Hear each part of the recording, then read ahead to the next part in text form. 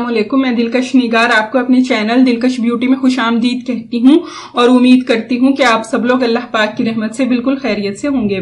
गर्मियों के मौसम में अक्सर खातन अपने बालों में मेहंदी का इस्तेमाल ज़रूर करती हैं। एक तो इससे बालों का कलर बहुत प्यारा हो जाता है, दूसरे दिमाग को ठंडक और सुकून मिलता है। मेहंदी कुदरती कंडीशनर के तौर पर भी वर्क करती है, लेकिन अगर मेहंदी बाल भी लंबे करे और मोटे और घने भी बना दे तो क्या ही बात है। इसीलिए आज मैं आपको एक ऐसी ही रेमेडी के बारे में बताऊँगी। मेहंदी में सिर्फ़ एक चीज़ मिलाएँ और अपने बालों में लगाएँ। कुछ ही दिनों में आपके बाल इतने लंबे हो जाएँगे कि सब लोग आपसे रास पूछने आ जाएँगे। मेहंदी से बाल लंबे करने का ये नंबर वन नुस्खा है। इससे पहले कि मैं आपको इस लॉन्ग हेयर होम रेमेडी के बारे में डिटेल से बताऊँ, आप प्लीज़ मेरा चैनल सब्सक्राइब कर लें। नीचे लगे रेड सब्सक्राइब बटन को दबा दें और इसके साथ लगे बेल आइकन को लाजमी प्रेस करें, ताकि आपको मेरी डेली न्यू वीडियोज़ सबसे पहले मिल सकें। इस नुस्खे को बनाने का तरीका यह है कि आप एक साफ़ पैन चूल्हे पर रखें और इसमें एक ग्लास पानी डालते दें पानी ताज़ा होना चाहिए, न ठंडा हो न गर्म। आँच आपने हल्की रखनी है। फिर आप इसमें ऐड करें दो चम्मच के बराबर मेथी दाना। इसे मेथरा भी कहते हैं। मोटे वाला मेथी दाना आपने लेना है। आपको किसी भी पंसारी हकीम की शॉप से मिल जाएगा। बीस रुपए का ले लें। इन दोनों अज्जा को, यानी पानी को और मेथी दाने को आप उस वक्त तक पकाएँ जब तक पानी एक कप न रह जाए। ये देखें, पानी पक रहा है। इस तरह से पानी का कलर चेंज हो जाएगा। पानी पीला हो जाएगा। जब एक गिलास पानी, एक कप पानी रह जाए तो फिर आप चूल्हा बंद कर दें और इस पानी को हल्का सा आप ठंडा होने दें। फिर आप एक साफ़ प्याली ले लें, शीशे या प्लास्टिक की, और उसमें आप इस पानी को छान लें ताकि मेथी दाना अलग हो जाए और हमारे पास ये पानी आ जाए, क्योंकि मेथी दाने ने अपना अर्क पानी में छोड़ दिया है।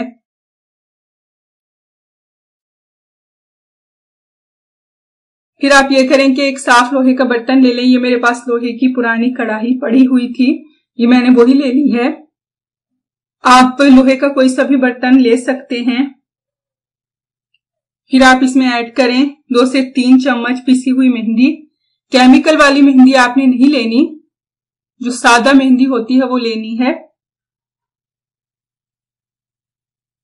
और फिर आप इसमें ये मेथी दाने का पानी डाल दें। और मेहंदी को अच्छी तरह आप भिगो दें। बहुत ज़्यादा पानी नहीं डालना, बस इतना पानी डालना है जिस तरह मेहंदी को पानी में भिगोया जाता है, उस तरह आपने इसमें इतना ही पानी डालना है।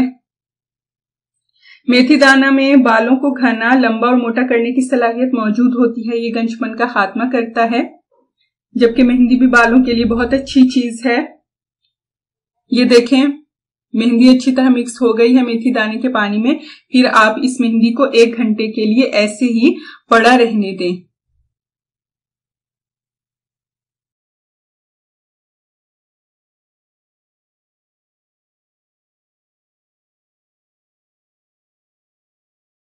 ये देखें, एक घंटे के बाद मेहंदी को मैंने प्याली में निकाल लिया था, ये इस शेप में आ जाएगी, इसका कलर भी थोड़ा सा चेंज हो जाएगा।